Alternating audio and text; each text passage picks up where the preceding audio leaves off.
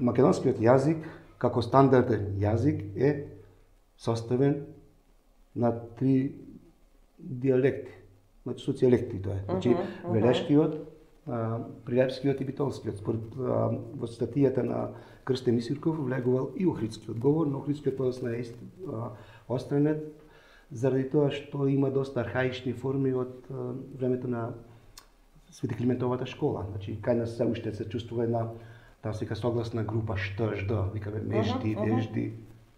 И, има и други. Така. Во охридскиот конкретен говор, варошкиот говор, има не полувокали, кој што не е карактеристично за стандардниот македонски јазик. За а, народниот е карактеристично, но за стандардниот не. Така се тој социјалект е составен од македонскиот литературен јазик. А што веќе од социјалект е составен еден јазик и што има посебни белези, се разликува од друг јазик, тој веќе си е стандарден јазик. Значи не може да се нарече дека тоа е диалект. Така.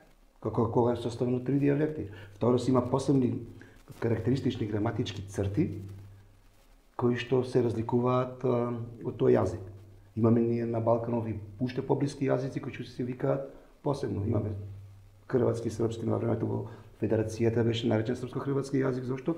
Бидејќи имаше доста за, каква заеднички спојки. Се оддели.